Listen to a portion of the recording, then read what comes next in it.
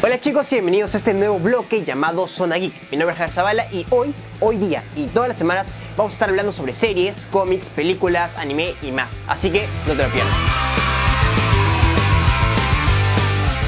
El día de hoy vamos a hablar sobre una de las películas más esperadas del año, la Justice League Snyder Cut, que está a puerta de estrenarse ya el 18 de marzo.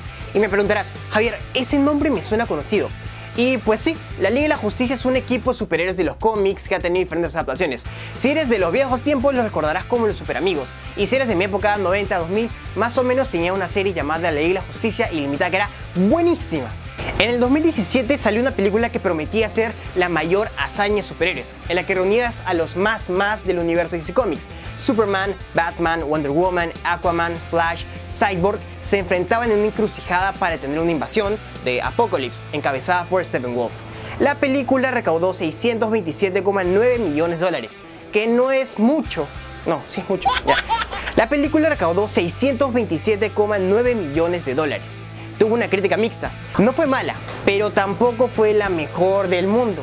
Desentonaba mucho con las predecesoras como Man of Steel, Wonder Woman o Batman v Superman y desconstruía algunos personajes, incluso el mismo Caballero de la Noche. Este resultado fue un cambio brusco durante las filmaciones. Zack Snyder, que lo recordamos mucho por películas como 300 o Watchmen, e incluso iniciar el universo cinematográfico de DC Comics con la película de Superman, Man of Steel, era el encargado de dirigirla. Sin embargo, tristemente falleció su hija y por problemas personales, por todo lo que ocasionaba, tuvo que salirse. Warner Brothers no la dudó y contrató a Josh Whedon, que sí, también lo conoces porque si has visto la serie de Buffy, La Casa de Vampiros, una serie clasiquísima, él estaba ahí. O si has leído las cómics de los X-Men, los últimos de los 2000, también está ahí. Ah, Ay, ¿cómo me voy a olvidar de uno de los trabajos más importantes? Avengers 1 y Avengers 2. Eh, la era de Ultron, no sé si se acuerdan, o Avengers Assemble.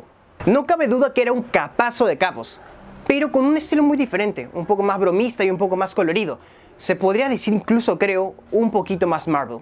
Fue tanto así que solo el 25% de lo filmado por Snyder se llegó a usar, e incluso las ideas de storyboards, pa, pa'l tacho.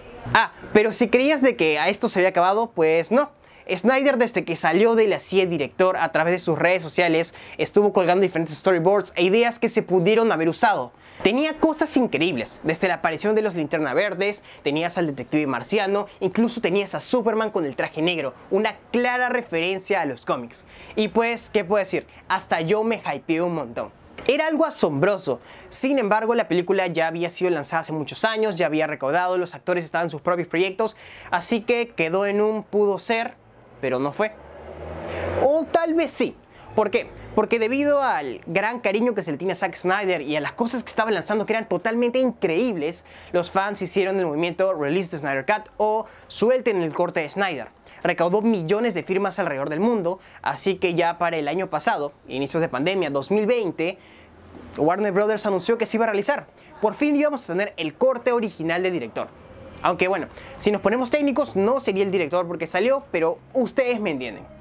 Este momento es histórico y no solo porque es otra película de superhéroes, sino porque es la primera vez que un estudio dice, está bien, la fregamos, hay que volver a hacer la película de nuevo, traer los actores, poner dinero, traer los trajes, un poquito de todo. Lo más cercano que tuvimos frente a la respuesta de los fans fue el rediseño del personaje de Sonic para la película que salió hace unos años. Y bueno, debido al contexto actual no va a estar en los cines, sino a través de las plataformas de streamings y durará cuatro horas. ¡Ay, caramba! No, tres, no dos, sino cuatro horas, que es un montón de tiempo y más que otra película de superhéroes que hayas visto en general.